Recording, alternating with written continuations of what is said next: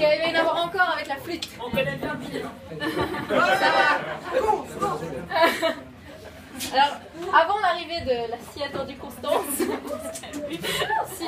je vais vous jouer juste euh, une petite pièce qui s'appelle Au matin, donc c'est pas vraiment. euh, ça dépend jusqu'à quelle heure on reste, mais.